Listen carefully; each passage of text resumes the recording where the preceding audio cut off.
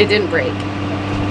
We're not done yet. Why would you say that? Oh, see, when you say stuff like that, it breaks. My bad.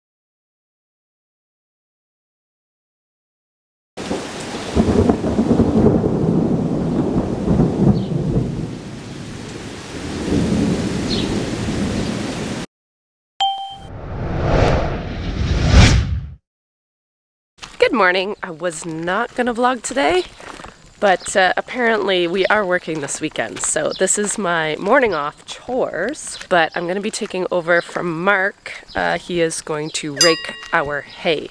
I thought while I was um, waiting for him to start the field, I would pick some sweet corn. We picked some the other day. It was not great. I think we're actually past. We get too busy. I don't even know why we attempted to grow a garden. And I'm so embarrassed to turn the camera right now, but you may as well see what happens when the Brocks take on a huge garden. Are you ready for this? That is what three inches of rain does.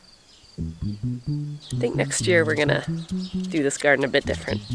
Hello! Look at those! They're actually growing! Why, hello! Pretty little thing. Look! There's another one! Okay, pumpkins are growing. So I got everything picked up. That's all I have for beans. It looks like there was a lot, but they're not. Um, and these are pole beans, and I'm not a huge fan, but look at the size of them. Crazy. And then I got all my onions gathered up. So I'll put them in the, kind of in our basement in the dark corner. I don't know what to do with them. We don't really have cold storage. And then I picked all our sweet corn, which are not, looks really good in this camera, but they're not the greatest. But. So that's what I was able to uh, salvage. Now I'm gonna see if Mark needs me. So apparently I do not have to take over because he's almost done. I think he's just on the headlands now. See how dry this is. So it's drying on top, but underneath is not. And we want to bale tomorrow. I don't know. So what he's doing is just he's putting two rows into one, like side by side, and trying to get it up off that wet ground. The problem is our mornings have been really, really not foggy, but yeah, uh, it might dry. The good thing is there's not much of it. So if we get some wind today, which we're not supposed to. So the good thing is we're wrapping this hay. Uh, so we will bale it tomorrow, wrap it, and the wrapping um, we've got we've had really good luck at that 20% moisture of the hay bales. It seems to really preserve nice in in the wrap. Uh, you get too too high, then it's more like baleage. Well, we've never gotten any lower than 20, so I have no idea what that would be. I guess that would be just like dry hay, but it seems to preserve okay at 20. Uh, the problem with that moisture though is I can't really put it in my feed mixer. That's that's the time that it gets really ropey. So uh, it'd be sweet if we could get two more really good sunny days on it. Like if Dan doesn't come till later tomorrow, but this is a pretty big field just to bale in a few hours. So it is what it is. We're chasing the we're just chasing the rain now because it's supposed to rain Monday. Here comes Mark with the rake.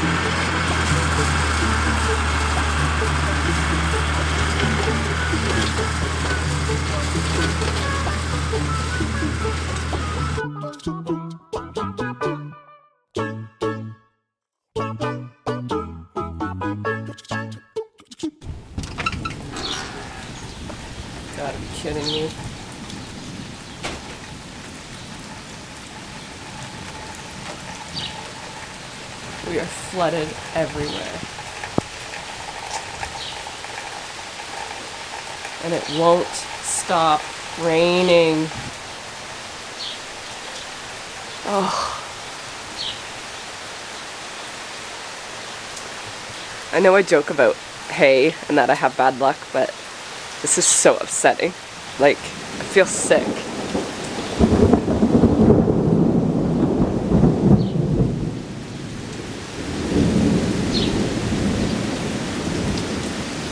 Oh, we haven't had this much rain all summer. 40%. Wow.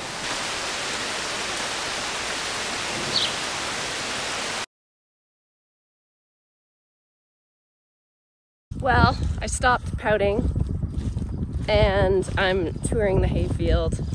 The, the good news is fourth cut's coming in coming in really good. There is standing water in our field, which I've never yet seen in our whole time of growing hay, which has been since like 2013. There's a lot of water. Yikes.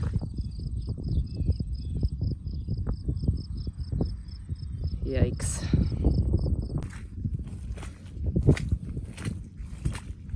Well, it's the next day, so it's Tuesday. It's kind of windy. I was too scared to come back on yesterday afternoon. The weather forecast went again crazy and they called for 80% chance of like, I don't even know what it was, a lot of rain. Uh, part of that system that hit Iowa so hard, Iowa and I think Illinois, uh, which I'm so sorry, you guys. I feel so guilty complaining about stupid rain when I see the devastation of the US this morning when I turn on Twitter. I'm like, oh my goodness. So for all you guys, our southern neighbors, I'm so unbelievably sorry for being such such a wuss when it comes to rain on hay. That's like it means nothing. Like hay is replaceable, hay will grow again, but to lose all those grain bins and your storage and your equipment and your sheds and your homes and your animals, I'm just like, oh, like my I felt sick all morning and I actually have not been on social media just because I, I feel horrible. Um, the good news is we missed it. So the weather forecaster once again was wrong, but in a good way. So we did miss that rain, which means our hay has a fighting chance of drying out before Friday. My baler also called yesterday and said, I'm going on holidays. So we, uh, the the family that we're helping out with uh, baling more straw for, they're actually going to come and bale hay for us, and that's after they'd already baled their own, took off all the equipment. He said yes, so uh, we have everything now lined up for Friday. I still have to call my wrapper, but I think he'll be okay. Um, so I'm just checking out the ground. It's still not fit for equipment. Uh, Mark's hoping to get in here tomorrow morning to rake, and then it'll have Wednesday, Thursday, and Friday morning to dry out really good. So we we lucked out. The weather is kind of hot and sunny for the rest of the week, and I'm so unbelievably grateful. And um, I just I still feel really bad for for everyone else that's hurting. All right, let's take a look at this hay and see if we'll be good for tomorrow. I cannot believe how much the fourth cut's growing. so we got to get this up we got to get it lifted and off the ground so it will dry. So we're going to rake it one more time. Uh, every time you rake it, you do kick off more leaves. But uh, yeah, so it's already like, it's pretty good. But this isn't a real, I'm gonna smell it. It doesn't smell terrible. So anyways, but this is a thin spot. The water has receded. It was right there. Uh, so it's gone this morning, which is good. So now we just need the sun and the wind, which is just coming out now. It has been overcast all day. So it's just clear skies right, right there. So I just need this stuff to dry up. So you can see it's still, still pretty tacky. Patience. Patience, my friends. Good morning, another day of drying, hopefully. Mark is out bright and early while the dew is still a little bit, well, a lot on these windrows to rake it one more time.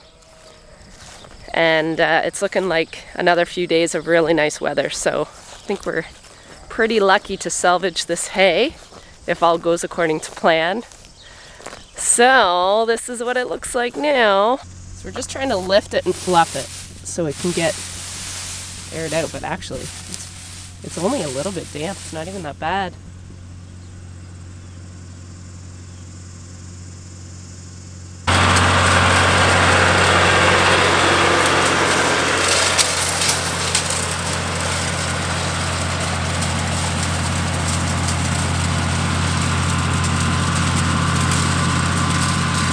Since hay is on hold, there is still a ton of work that I still have to do. I weighed a bunch of lambs last week, so I didn't think there'd be many ready this week, but I looked at the markets and I have a feeling um, we're into the last couple weeks of some stronger prices.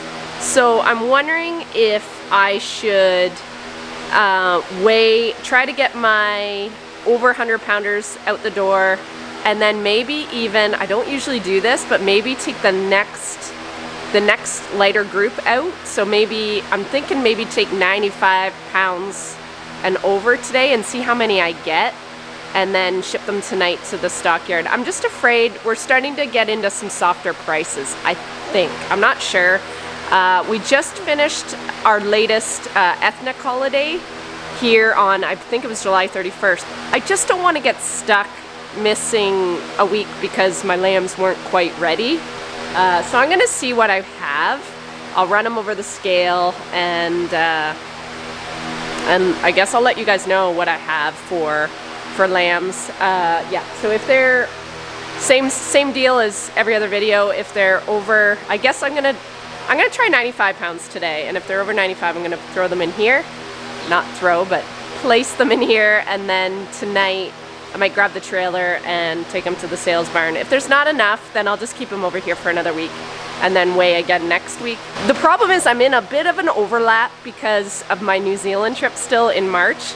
I had to I had to lamb these guys out in April and what's happening is now we're into this bottleneck of my June lambs are ready to wean and I don't have room over here. So I either have to um, take some of my ewe lambs and take them over to the, the big barn before their second vaccination or I have to maybe just sacrifice uh, some of my market weights and go for a lighter group. Um, I knew this was going to happen. I was just hoping, I was hoping they'd grow a little faster and the problem is it's been too hot. So their gains haven't been what they probably should be and I kind of knew that was going to happen.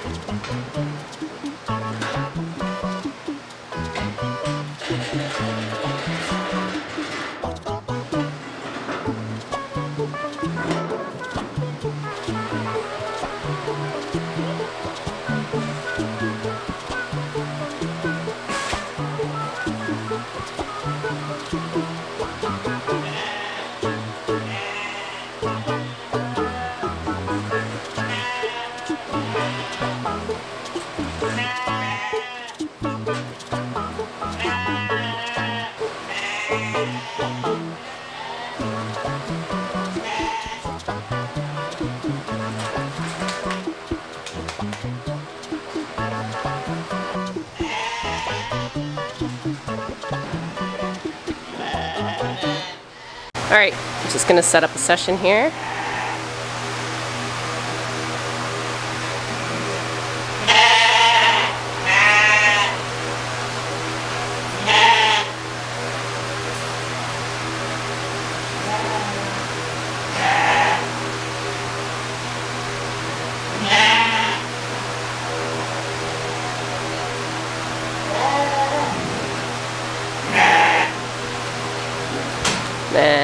Bluetooth going.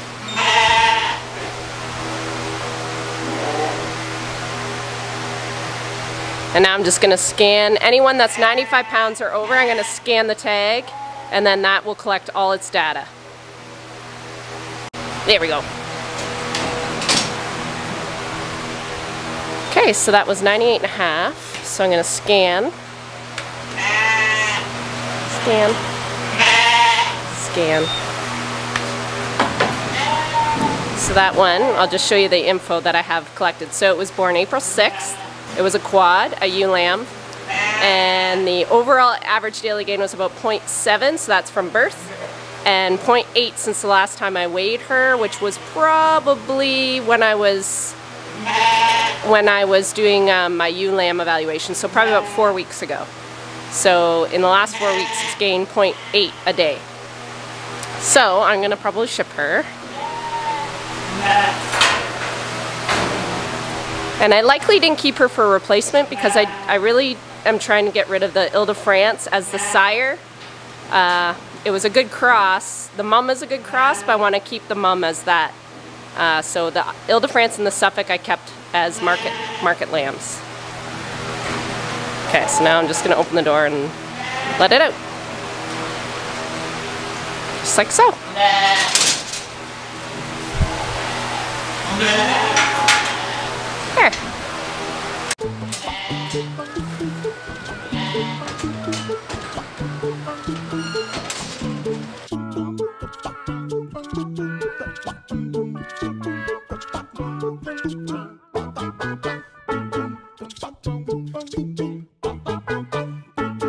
Look who it is, you guys. It's Rusty. Hello, baby. I know you're not going to be heavy. it. Yeah, you're just a wee little lad. Nope.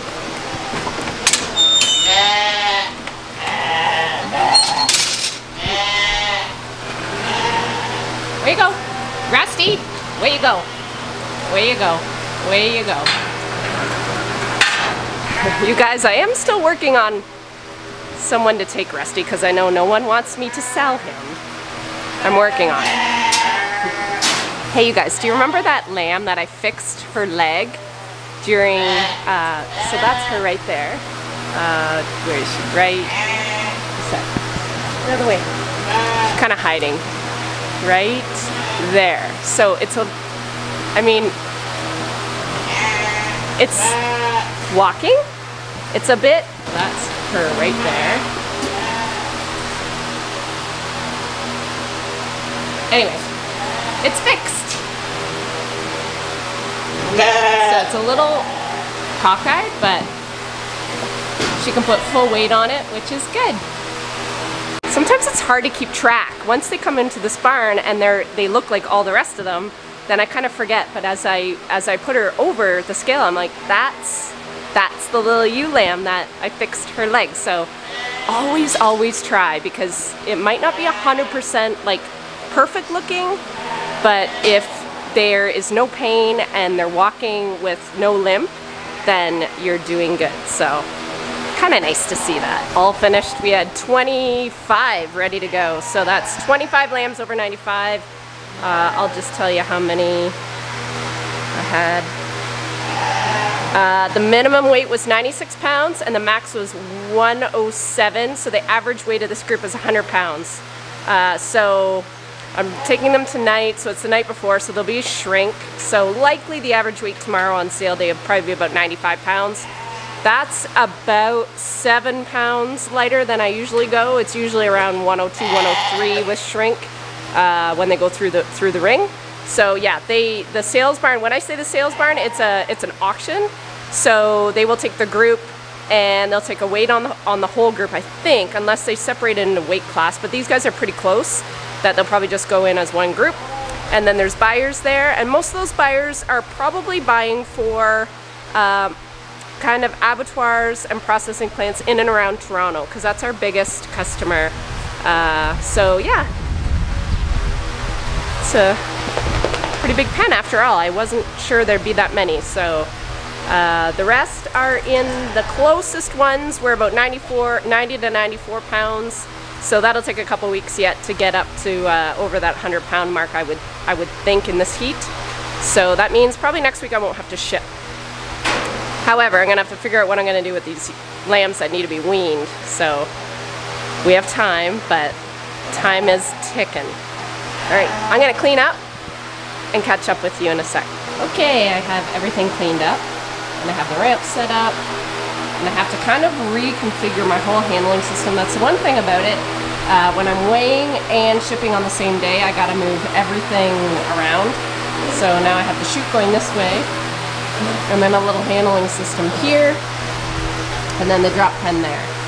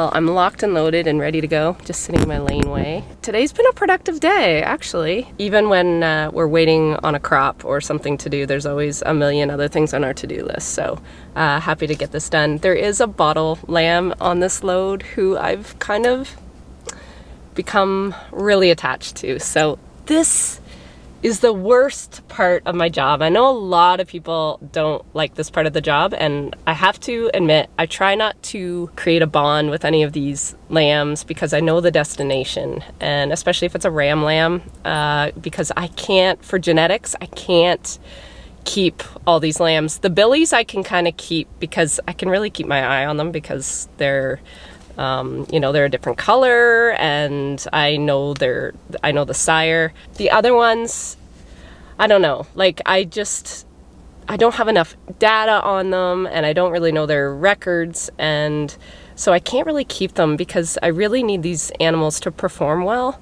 And that usually means bringing in genetics that are tested and are true.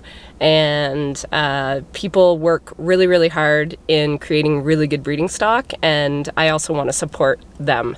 So I try not to keep my own rams back for that for that reason, uh, just to keep that genetic pool fresh and clean and and quite honestly better performing than mine. So that's why I don't keep them. And I know a lot of you guys grow attached to the lambs too. And it's a really tough one. I'm going to have a really hard day when Rusty has to go. The good thing with Rusty is he has not been that friendly until just like the last two weeks. All of a sudden he is showing some enthusiasm towards me, which, not gonna lie, kills me a little bit.